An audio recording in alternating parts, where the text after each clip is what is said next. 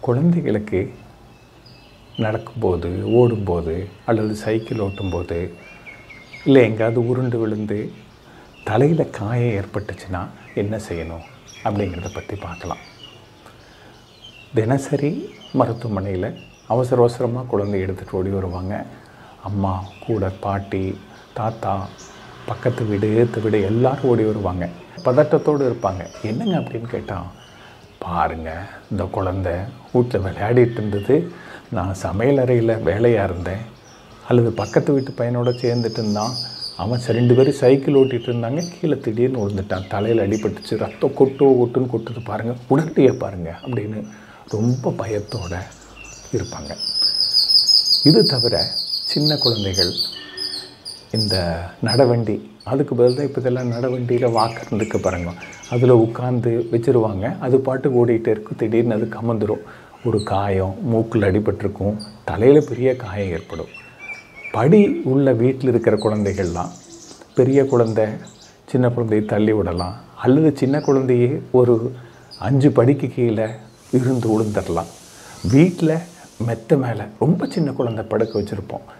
அந்த குழந்தை வந்து மெத்தையிலேருந்து விழுந்துடலாம் மெத்தையினுடைய உயர் ஒரு மூணு அடி இருந்துன்னு வச்சுக்கங்களேன். அது குழந்தைக்கு ஏதாவது பாதிப்பு ஏற்படலாம். இப்படி நிறைய காரணங்களால் குழந்தைகளுக்கு தலையில் அடி பட்டிருக்கலாம்.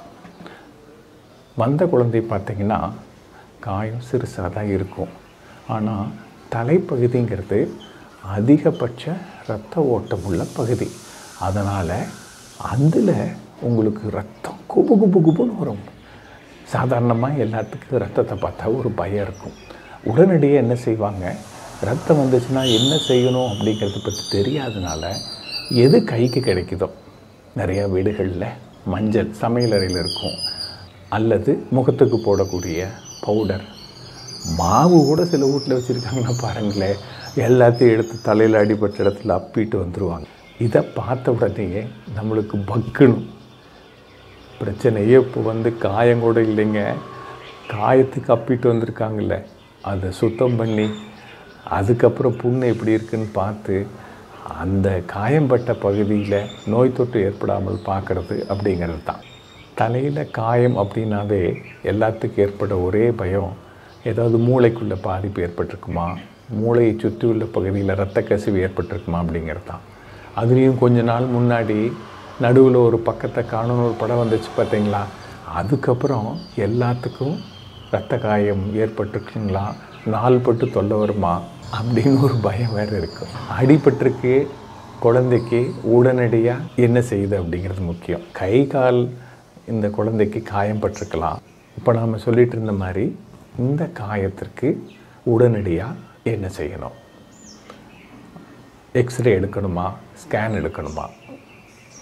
முதல்ல நான் சொன்ன மாதிரி காயம் பட்ட இடத்துல எதையும் அப்பாமல் ஒரு சுத்தமான துணியில் அழுத்தி பிடிச்சா போதும். மருத்துவமனைக்கு வந்து அதுக்கப்புறம் நீங்கள் அதை பார்த்துட்டு என்ன தொல்லைன்னு தெரிஞ்சு அதுக்குரிய மருந்துகளை கொடுக்கலாம். முதல் நாம் செய்ய வேண்டியது காயத்தின் மேல் எதையும் தடவ வேண்டாம். காயம் பட்ட இடத்தில் கசிவு ஏற்படாமல் இருக்க நல்ல இருக கட்டலாம். அல்லது ஒரு துணியை வச்சு அழுத்தி பிடிச்சிக்கலாம். மருத்துவமனைக்கு வந்துட்டீங்க. மருத்துவர் பார்க்குறார். ரெண்டு கேள்விகள் உங்களுக்கு கேட்பார். குழந்தைக்கு வழக்கமான தடுப்பூசி நீங்கள் போட்டிருக்கீங்களா? கடைசியாக தடுப்பூசி எப்போ போட்டது? நாம் கவலைப்பட வேண்டியது டிடி ஊசி அதாவது டெட்டனஸ் நோய் தொற்று கிருமி பாதிக்காமல் போடக்கூடிய தடுப்பூசி. வழக்கமான தடுப்பூசி போட்டுட்ருக்கீங்க. குழந்தையுடைய வயசு அஞ்சு வயசுக்கு இல்லைன்னா ஒவ்வொரு முறை அடிபட்டாலோ காயம் ஏற்பட்டாலோ எதையும் போட வேண்டியதில்லை. பெரிய காயமாக இருக்குது மிகப்பெரிய விபத்து அப்படின்னா அப்போ நாம் மறுபடியும் டிடி தடுப்பூசியோ அல்லது டெட்டனஸ் இம்யூனோகுலாபினோ போடுமான்னு பார்க்கலாம். மருத்துவர் காயம்பட்ட இடத்த பார்ப்பார். அதனுடைய காயத்தினுடைய ஆழம் எவ்வளவு இருக்குது அந்த முனைகள்லாம் சீராக இருக்கா? இல்லை ஒழுங்கற்று இருக்குதா? இல்லை நேர்கோட்டு போட்ட மாதிரி இருக்கா? மேலே அப்படி இருக்கா? அப்படிங்கிறதெல்லாம். அதை பொறுத்து என்ன மருத்துவம் செய்யணும்னு முடிவு செய்வார். சீரான கோடு போல இருக்குது அப்படின்னா அதுக்கு ரெண்டு பகுதியும் சேர்த்து கோந்து போல ஒன்று போட்டு ஒட்டி விடுவாங்க. அல்லது சில மருத்துவமனைகளில் நம்ம பேப்பருக்கு அடிக்கிற ஸ்டேப்லர் மாதிரி ஸ்டேப்லர் பின் மூலமாக அடித்து விடுவாங்க. குழந்தைக்கு வலி இல்லாமல் இருப்பதற்கு காயத்தினுடைய ஓரங்களில் ஒரு மருந்து தடவலாம். அது வலியை குறைக்கும். சில நேரங்களில் தையல் போட வேண்டிய சூழ்நிலை இருந்துச்சுன்னா வலி உள்ள இடத்தில் வலி தெரியாமல் இருப்பதற்காக ஒரு ஊசி மருந்து போடுவாங்க. காயம் பெருசாக இருக்குது நல்லா பொழந்திருக்கு அல்லது ஓரம் முனையெல்லாம் ஒரு மாதிரி குறுக்கு மறுக்காக இருக்குது அப்படின்னா இதை ஓரத்தை எல்லாம் சரி செய்து சரியாக சேர்த்து வைத்து தைக்கிறது தான் ரொம்ப முக்கியம். தையல் போடணும் அப்படின்னு உடனேயே பெற்றோர்கள் பயந்து நடுங்கிடுவாங்க ஐயோ குழந்தை தாங்குவானா அப்படிம்பாங்க. கவலைப்பட வேண்டாம். அப்புறம் ரெண்டுக்கு ஒன்று வலிக்கு ரெண்டாவது குழந்தைக்கு நோய் தொற்று வராமல் இருக்கணும் அப்படிங்கிறது தான். வலி வராமல் இருப்பதற்கு நம்ம சொன்ன மாதிரி சுற்றி பகுதிகளில் மருந்து தரலாம் அல்லது சொன்ன மாதிரி அதுக்குரிய மருந்துகளை ஊசி மூலமாக செலுத்தினோம்னா பிரச்சனை இல்லாமல் இருக்கும். பெரிய காயமாக இருக்கிற பட்சத்தில் மயக்க மருந்துகள் கொடுத்து அதை சுத்தம் செய்து சரி செய்யலாம். எப்போ எக்ஸ்ரே எடுக்கணும்? நிறைய இடங்களில் தலையில் அடிபட்டுடனே டாக்டர் எக்ஸ்ரே எடுங்க டாக்டர் எக்ஸ்ரே எடுங்க டாக்டர் சின்ன ஊர்களில் கேட்பாங்க. கொஞ்சம் பெரிய ஊர்களாக இருக்கும்போது சிடி ஸ்கேன் எடுக்கணுமா அப்படின்னு கேட்பாங்க. எக்ஸ்ரே சாதாரணமாக தேவைப்படாது. ஏன்னா எக்ஸ்ரேயில் மண்டை ஓட்டின் எலும்புகளை பாதிக்கும்படியாக இருந்தால் மட்டும் அதில் முறிவு ஏற்பட்டிருந்தால் மட்டும்தான் தெரிஞ்சுக்க முடியும்.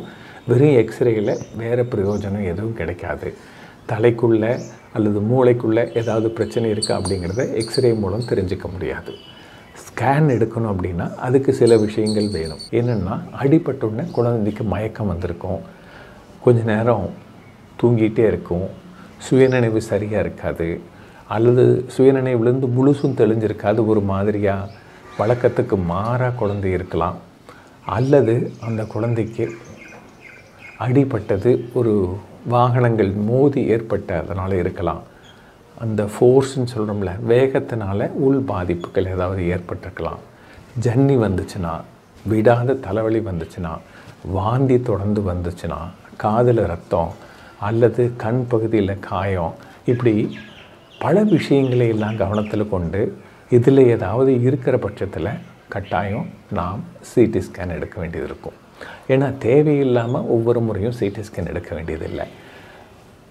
குழந்தை ஒரு மூணு அடி உயரத்துக்கு மேலேருந்து விழுந்திருக்கு மாடிப்படியில் அஞ்சு படிகளுக்கு மேலே உயரமான படியிலேருந்து விழுந்திருக்குன்னா பிரச்சனை இருக்கிறதுக்கு வாய்ப்பு இருக்குது அதனால் என்ன மாதிரி குழந்தை அடிபட்டதுக்கப்புறம் இருக்குது அப்படிங்கிறத பொறுத்தும் அடுத்த நாற்பத்தெட்டு எழுபத்தி ரெண்டு மணி நேரத்தில் ஏதாவது பாதிப்புகள் ஏற்படுகிறதா அப்படிங்கிறத பொறுத்தும் நாம் சிடி ஸ்கேன் எடுக்க வேண்டியது இருக்கும்.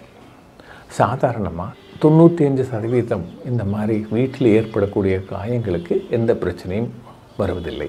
தேவை என்றால் தடுப்பூசி போட்டு இல்லை என்றால் சுத்தம் செய்து அதுக்கப்புறம் ஷீல் பிடிக்காமல் இருப்பதற்குரிய மருந்துகளை தரலாம். தேவைப்பட்டால் தையல் போட வேண்டியது இருக்கும். அஞ்சு அல்ல ஏழு நாட்களுக்கு பிறகு பெற்றோர்கள் வந்தாங்கன்னா இந்த தையலை எடுத்துடுவாங்க. அதை பற்றி கவலைப்பட வேண்டியதில்லை. காயத்துக்கு தையல் தேவைப்படுது. ஆனால் பயத்தினால பெற்றோர்கள் வேண்டான்னு சொல்லி நாங்கள் இப்படியே புண்ணை ஆற்றிக்கிறோன்னு சொல்லுவாங்க. ஆழம் அதிகமாகவும் ஓரங்கள் சீரட்டு இருந்துச்சுன்னா தையல் சரியாக கூடாது. தழும்பு பெருசாக வரும். அந்த இடத்துல முடி முளைக்கிறதில் முதற்கொண்டு நிறையா பிரச்சனைகள் வரும். பெற்றோர்களே இன்றைக்கி குழந்தைக்கு ஏற்படக்கூடிய தலைக்காயத்திற்கு என்ன செய்யணும்? என்ன செய்யக்கூடாது? மருத்துவமனையில் எக்ஸ்ரே சிடி ஸ்கேன் எடுக்கணுமா? உடனடி மருத்துவத்தினால என்ன பலன் அப்படிங்கிறத பற்றி தெரிஞ்சுக்கிட்டோம். வணக்கம்.